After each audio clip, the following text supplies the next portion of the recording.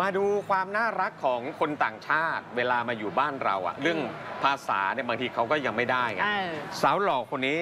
ได้แฟนสาวชาวอังกฤษ ว้าสปีกอังกฤษ สปีกอังกฤษมาแล้วนะ ก็เลยให้ไปซื้อกระเทียมดูสิว่าสาวอังกฤษไปซื้อกระเทียมที่ตลาดจะสื่อสารกันไหมคะรู้เรื่องไหม เออเออเออ ไปดูครับผม ให้ไปซื้อกระเทียมนะเดี๋ยวซื้ออะไรมาคะ ไปบอกพี่อ้อยนะ ว่าซื้อกระเทียม กระเทียมไหนที่คุณจับเมื่อกี้อยู่ไหน เออ อันนั้นแหละ เอาไป บอกว่าซื้อ 20 บาท โอเค20บาท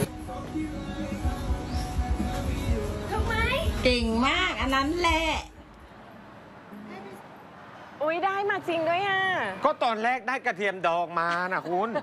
ก็ไม่ผิดนะ ภาษาอังกฤษเขาบอกพิกเข้าการลิกอะแต่ว่าการลิกเนี่ยแปลว่ากระเทียมถูกต้องไหมใช่เออสุดท้ายก็กลายเป็นว่าเอ้าได้ของมาไม่ตรงปกก็เลยไปซื้อใหม่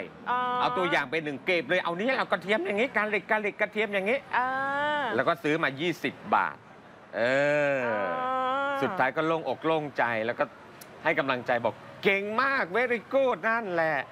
คุณโบธิดารัตน์ครับหรือว่าสาวหล่อนะฮะเอามาลง TikTok บอกว่าให้แฟนไปซื้อกระเทียม ก็ไม่ผิดนะ แต่ที่ได้มามันเป็นแบบกระเทียมดองอะอ่าถูกครึ่งหนึ่ง พอไปอีกรอบหนึงก็ได้ตรงปกมานั่นแหละครับ ค่ะคนก็ไปแซวเอาน่ารักจังเลยเนาะอุตส่าห์ข้ามน้ำข้ามทะเลมาได้สาวหล่อบ้านเรา อ๋อ แล้วก็แบบช่วยกันทำมาหากินทำกับกงกับข้าว ค่ะ ชาวติ๊กต็อกก็บอกว่าเออไปดูอีกซิว่ามีคลิปอะไรอีกหรือเปล่า ปรากฏว่าสาวอังกฤษคนนี้ก็ทำหลายอย่างนะเขาเหมือนกับ ชอบวิถีของคนไทยอะค่ะเนี่ยอ๋อเห็นไหมทำฟืนเหรอคะทำปืนอ๋อแกก็แบบพยายามจะหักไม้เศษไม้มาหักเอามาจุดเป็นเชื้อเพลิงอะค่ะบางอันมันก็แข็งมันก็ดิบอยู่เนาะอ่าเอามีดปักค่ะปักปักก็ไม่ไหวเอาเท้าขีบเท้ายันอยู่อย่างนั้นฮะคนไปดู 8 ล้านวิวครับคุณผู้ชมอืมเขาก็ชื่นชมอะเขาบอกว่าเออเขาก็ปรับตัวได้เก่งกับวิถีไทยดีเนาะเยอะดีนะฮะ อะไรนะ เยอะดีเออเยอะดีนะ เออทำได้เยอะดี